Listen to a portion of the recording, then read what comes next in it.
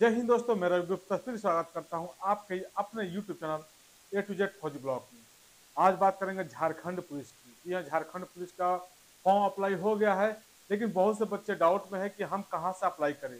जो other state वाले हैं, खास ये वीडियो उन्हीं के लिए है, जो अदर स्टेट वाले हैं, जो चाहते हैं वो फॉर्म भरे और हम सिलेक्शन ले लें। कहाँ कितनी सीट है, कितनी कटअप गई थी, सब पे बात करेंगे। बने रहिए हमारे साथ। वीडियो शुरू करने से पहले आपसे रिक्वेस्ट करेंगे कि आप हमारे चैनल पर नए हैं और आपने अभी तक हमारे चैनल को सब्सक्राइब नहीं किया तो हमारे चैनल को सब्सक्राइब करके बेल वाली घंटी को प्रेस कर दीजिएगा ताकि आने वाली वीडियो का नोटिफिकेशन आपको मिलता रहे। चलिए देर न करते हुए शुरू करते हैं। देखिए, झारखंड पुलिस कांस्टेबल की जो 2024 की भर्ती है तो पहले जनरल डाटा समझ लेते हैं। पोस्ट टोटल कितना होने वाला है? उनचास लास्ट डेट आपको 21 फरवरी तक है, जो कि फॉर्म अप्लाई शुरू हो गया है। देखिए फ़ीस कितना रहने वाला है? जनरल बीसी और ईडब्ल्यूएस के लिए सौ रुपये एस सी के लिए पचास रुपये का फ़ीस रहने वाला है। ठीक है, उसके बाद से करप्शन रेट का बात कर लेते हैं तो 25 से लेके 28 फरवरी तक आप डेट चेंज कर सकते हैं। जो भी आपकी गलती हो, नाम वगैरह जो भी, जब करप्शन होगा तो आप उसको चेंज कर सकते हैं फ़ोटो वगैरह सिग्नेचर वगैरह, जो भी छोटी मोटी या जो भी गलती हो तो उसको भी आप चेंज कर सकते हैं। अब बात करते हैं एज लिमिट का। देखिए, न्यूनतम एज कितना होना चाहिए आपका? एक आठ दो हज़ार तेईस और अधिकतम एक आठ दो हज़ार उन्नीस। एज होना चाहिए। अब बात करें तो एज आपका कैटेगरीज वाइज बहुत से बच्चों का यही डाउट होता है सर कि हम जर्नल से हैं हमारा क्या एज होने वाला है क्या कितना जाएगा कितना उम्र है हमारा दो दिन कम हो रहा है चार दिन कम हो रहा है। आपको ऐसे एज बताऊँगा जो आपका पूरी जितनी भी डाउट है क्लियर हो जाएगी। देखिए सिर्फ़ जर्नल के लिए आप बस समझ लीजिए ठीक है ना? जर्नल का देखिए 18 से लेकर 25 साल तो है ही बीसी ईबीसी e, e और मेल के लिए, जो पुरुष है उनके लिए 18 से लेकर 27 साल है और बीसी बीसी फीमेल के लिए आपको 18 से लेकर 28 साल है। एस सी का 18 से 30 साल तक है। अब देखिए जो आपका उम्र जो है ना डेट ऑफ़ बर्थ कब का होना चाहिए, कौन सा अप्लाई कर सकते हैं, इससे आप अंदाज़ा लगा सकते हैं और वही अप्लाई कर सकते हैं। फिर आपको झंझट खत्म हो जाएगा कि मेरा अट्ठाईस साल में दो दिन कम है, चार दिन एक्स्ट्रा हो गया, पाँच दिन एक्स्ट्रा हो जाएगा। देखिए डेट ऑफ़ बर्थ जर्नल का, एक आठ उन्नीस सौ चौरानवे, देखिएगा, एक आठ उन्नीस सौ चौरानवे, एक आठ दो हज़ार पाँच। अगर इसके बीच का आपका जन्म तिथि है तो आप इस फॉर्म को अप्लाई कर सकते हैं सिर्फ़ जर्नल वाले। इसके अगर 2005 के बाद है, एक आठ 2005 के बाद का अगर जन्म तिथि है आपका तो आप अप्लाई नहीं कर सकते हैं। इसके बीच का आपका जन्म तिथि होना चाहिए, ये जर्नल के लिए हो गया।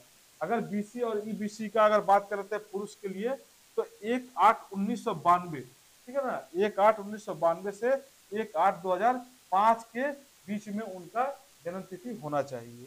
अब बात करते हैं बीसी ईबीसी महिला के लिए फीमेल के लिए तो उनका एक आठ उन्नीस सौ इक्यानवे से, उन्नीस सौ इक्यानवे से लेके दो हज़ार एक आठ दो हज़ार पाँच तक के बीच में उनका डेट ऑफ़ बर्थ होना चाहिए।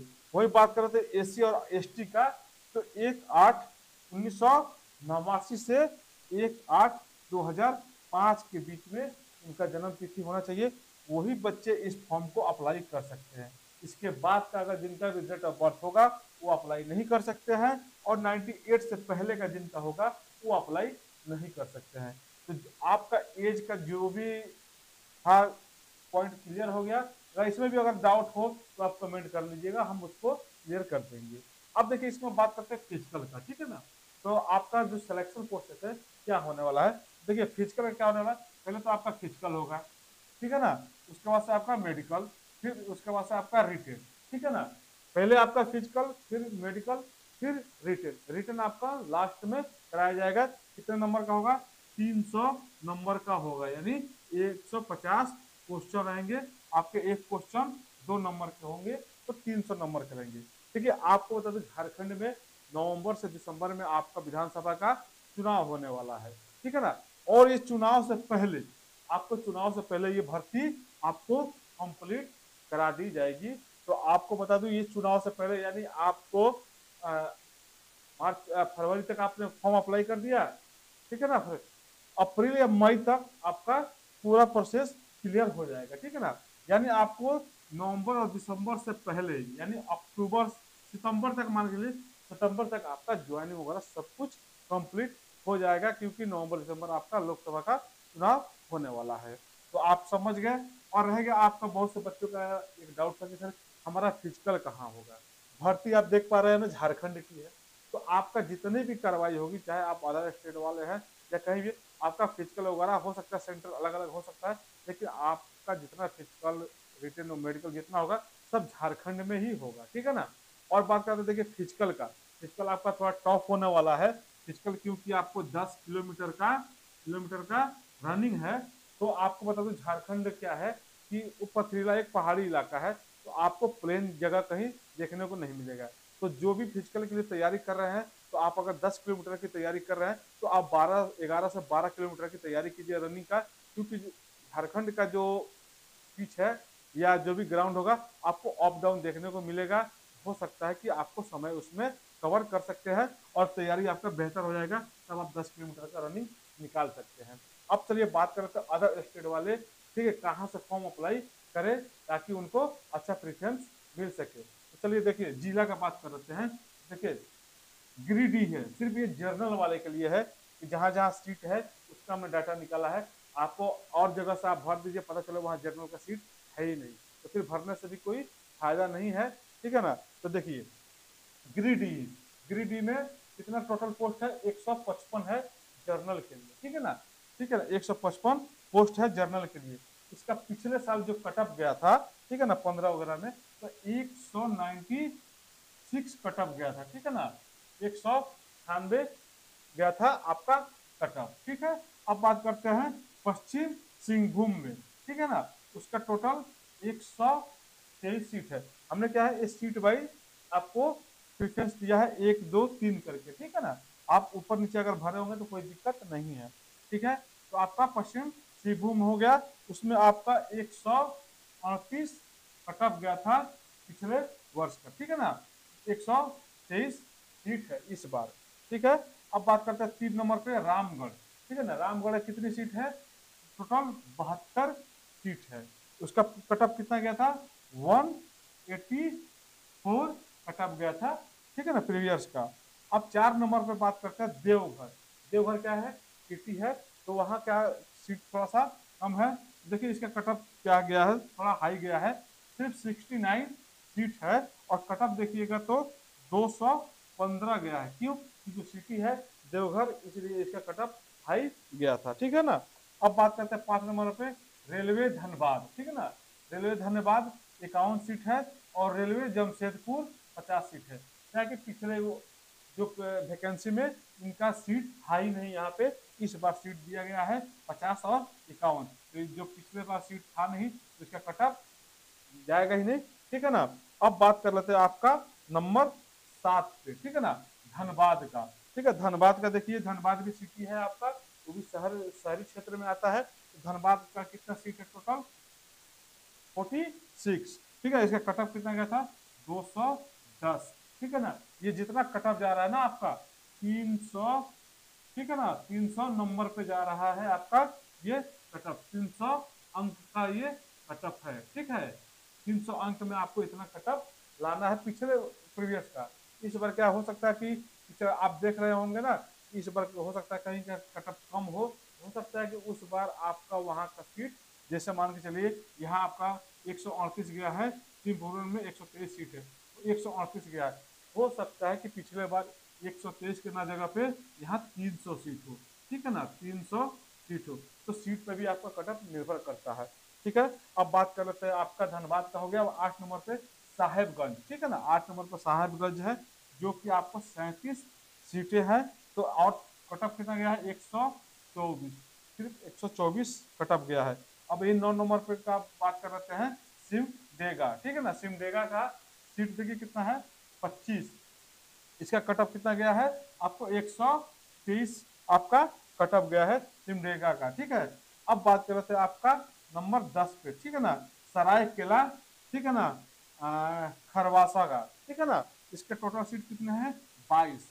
ठीक है, इसका भी कटअप कितना गया है आपको? एक सौ तेईस कटअप गया था, ठीक है? अब बात कर रहे थे आपका दस नंबर हो गया। अब ग्यारह नंबर का बात कर रहे हैं बोकारो। बोकारो क्या है? आपको भी शहर, शहरी है, ठीक है ना?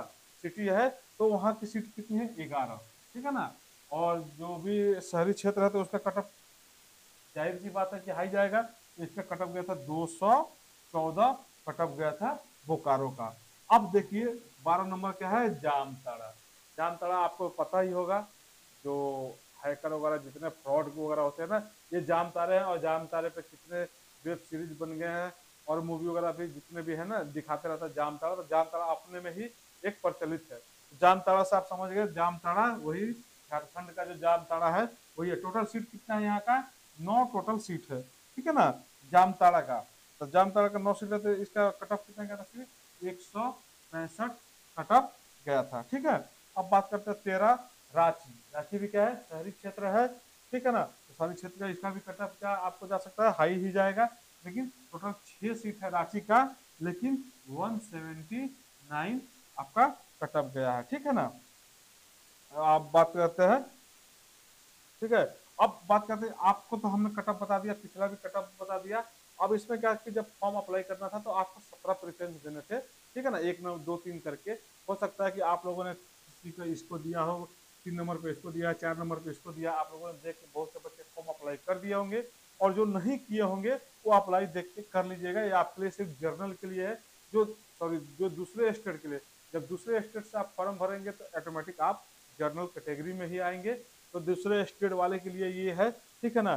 तो अगर सत्रह प्रेफरेंस देने हैं उसमें, अब ये नहीं कि हमने एक दे दिया, दो दे दिया, तीन दे दिया, चार और पाँच प्रेफरेंस दे के बाकी छोड़ दिया। छोड़ना नहीं है। आपको प्रेफरेंस सत्रह का सत्रह ही फिलअप करना है, जो आगे चल के आपको बहुत फ़ायदा साबित हो सकता है। ठीक है ना? तो आपको पूरा प्रेफरेंस देना है। आपको बता दिया आपका फ़िज़िकल कहाँ होगा, झारखंड में ही होगा। ठीक है ना? और ये सिर्फ़ दूसरे राज्य के लिए है। तो जितना ये कटअप था, ये पिछले बार सीट के हिसाब से था। इस बार क्या हो सकता है? इसमें आपका जो भी आपका कटअप होगा 2024 का, ठीक है ना 2024 24 का जो आपका कटअप होगा, ठीक है, इसमें आपको पाँच नंबर, ठीक है ना प्लस कर लीजिएगा, क्योंकि इस बार कटअप थोड़ा सा ज़्यादा जाएगा, ठीक है, क्योंकि आपको इतने साल के बाद जब वैकेंसी आई है, कुछ ना कुछ कटअप ज़्यादा जाने की संभावना भी है, क्योंकि कई जर्नल का है और कहीं ना कहीं ये कम है पिछले का। अपेक्षा तो बस एक यही छोटी सी आपको जानकारी देना था अगर आपको ये जानकारी अच्छी लगी हो और आप हमारे चैनल पर नए हैं और आपने अभी तक हमारे चैनल को सब्सक्राइब नहीं किया तो हमारे चैनल को सब्सक्राइब करके बिल वाली घंटी को प्रेस कर दीजिएगा ताकि आने वाली वीडियो का आपको नोटिफिकेशन मिलता रहे। फिर मिलेंगे दूसरे वीडियो में, तब तक जय हिंद बंदे मातरम।